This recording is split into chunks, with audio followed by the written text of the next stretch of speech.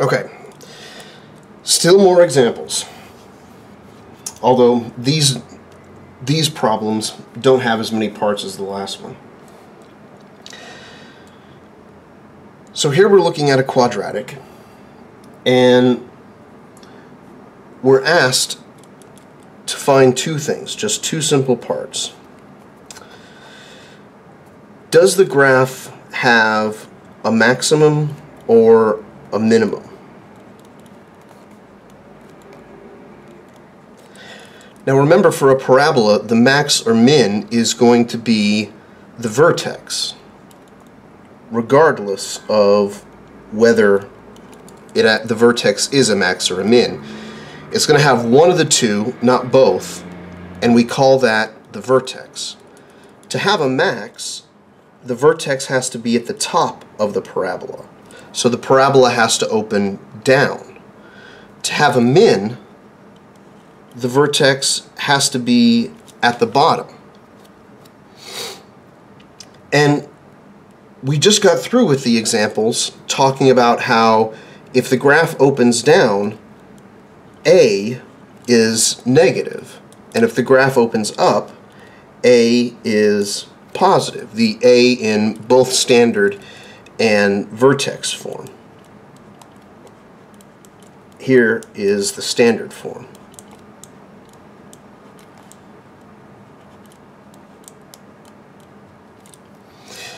So determining whether it has a max or a min is the same thing as determining whether the parabola opens up or opens down. So if we look for our a, we don't see a number. We see a negative sign, but we don't see a number.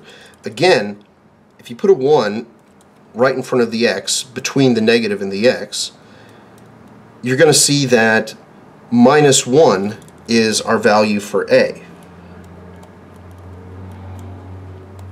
And that really doesn't change anything because minus 1 times x squared, that's just complicated notation for minus x squared. So they're the same thing. So in our case, RA in this problem is negative. It's less than 0. So the graph opens down, which means the vertex is a max.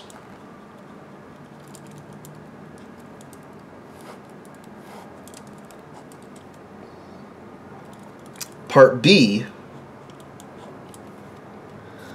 asks us what the range of this quadratic is. The domain of every quadratic, of every polynomial, in fact, as we'll see in a few sections, is always everything, minus infinity to infinity. But the range, this has a max, so it's going to be everything from minus infinity up to the highest y value that can be achieved by this parabola. And the highest y value is simply the y value of the vertex, because the vertex is this highest point, and range deals in y values.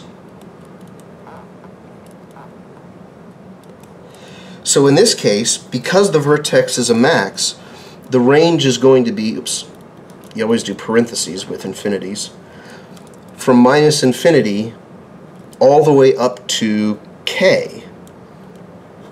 And it will include k, the y-coordinate of the vertex. So what we need to do is we need to find k.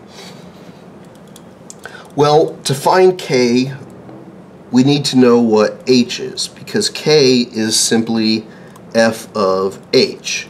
And h for a parabola is minus b over 2a or at least that's how we get it that's how we get h from the standard form. Now b is 6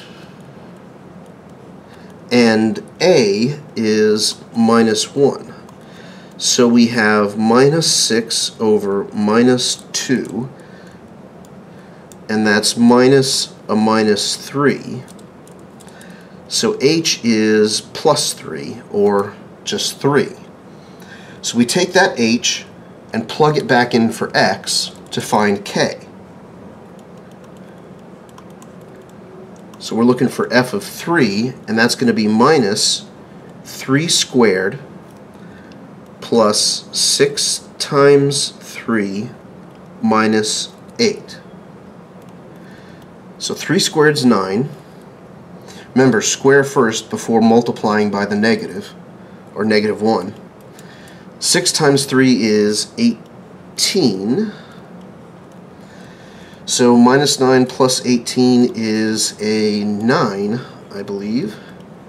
Then subtract 8, and we get 1. So the range for this function is, oops, I'm doing an interval notation. And I'm never requiring interval notation. But you do have to read it. And this is saying that y can be anything up to and including 1.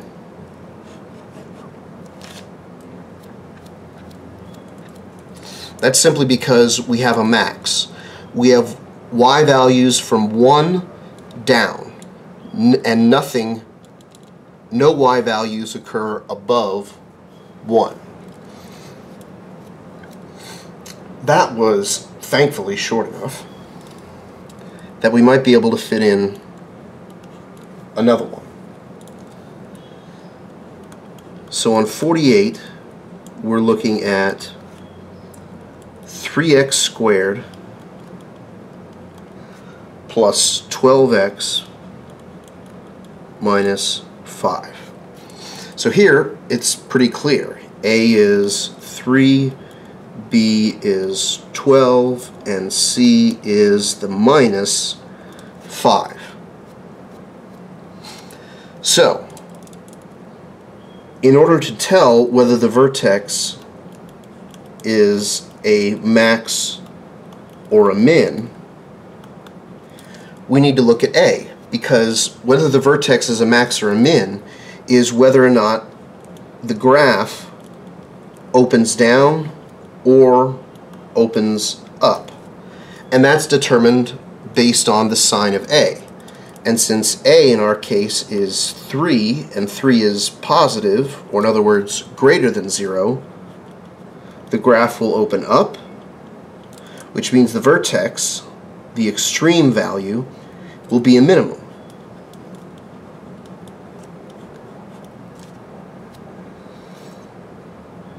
So our range for part B, our range